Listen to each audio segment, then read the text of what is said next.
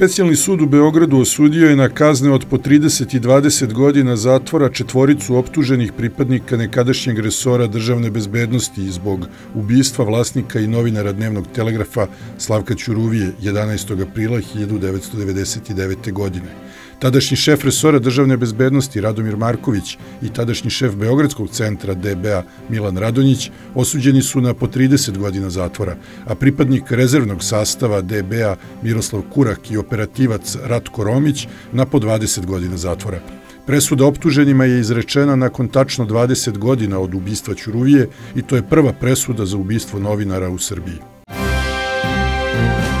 Predsednik Aleksandar Vučić obišao je danas radove na projektu Beograda na vodi, gde je istakao da je to najveće gradilište u ovom delu Evrope, kao i da će taj i svi projekti koji se sprovode u prestonici doprineti ukupnom razvoju.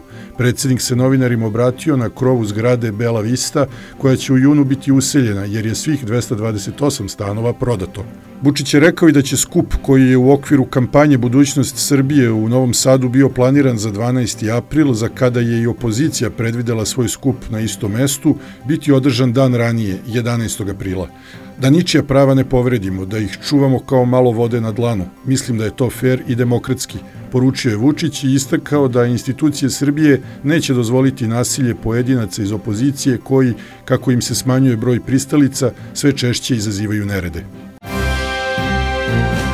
Predsednik Aleksandar Vučić izjavio je povodom prisustva albanskih vojnika na severu Kosova i Metohije da je to smišljeno i planirano da bi se Srbi plašili i da bi dodatno provocirali Srbiju.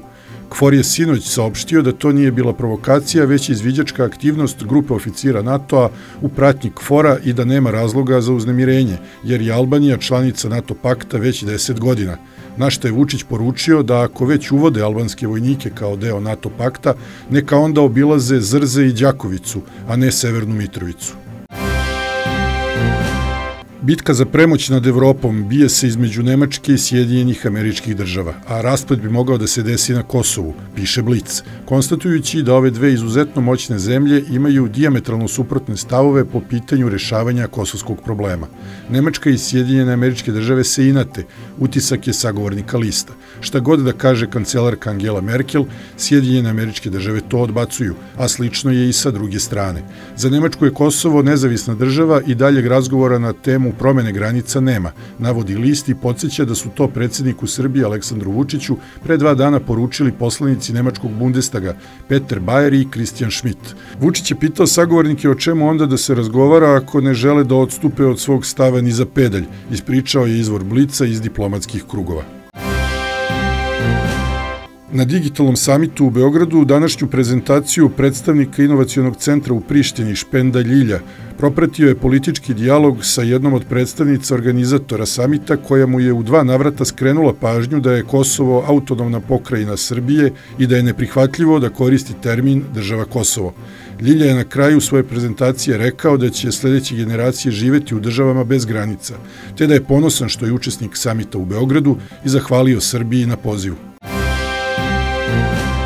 Premijer privremenih prištinskih institucija Ramuš Haradina je otputovao je u Sjedinjene američke države, ali se tamo neće sastati sa američkim zvaničnicima, već s predstavnicima albanske katoličke zajednice. To piše prištinski ljajmi pozivajući se na izvore iz Haradinajevog kabineta. Haradina je zbog uvođenja taksi na proizvode iz Srbije od kraja prošle godine bio pod sankcijama Sjedinjenih američkih država, tako što mu je onemogućeno dobijanje vize, pa nije mogao da prisustuje tradicionalnom molitvenom doručku u Vašingtonu. Sud u Prištini odredio je jednomesečni kućni pritvor za četiri osobe privedene zbog sumnje da su počinili krivično delo ilegalne transplantacije i trgovine ljudskim organima i ćelijama u američkoj klinici dr. Behar Kusari, piše Prištinska gazeta Ekspres. Zaključeno je da je mera kućnog pritvora dovoljna i adekvatna, da omogućava njihovo prisustvo u tužilaštvu i sudu u ovoj fazi krivičnog postupka.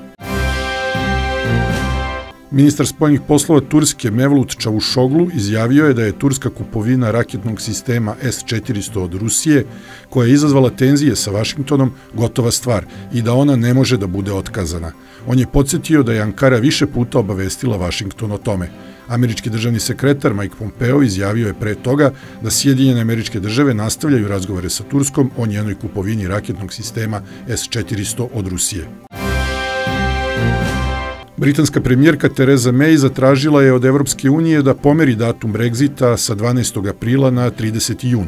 U pismu koje je uputila predsedniku Evropskog saveta Donaldu Tusku, ona je navela da će Velika Britanija ponuditi plan za nepredviđene situacije, kako bi učestvovala na izborima za Evropski parlament u maju, ako se umeđu vremenu ne postigne sporazum o Brexitu, javlja AP. Promenljivo oblačno i uglavnom suvo, na severu i zapadu kratkotrajna kiša.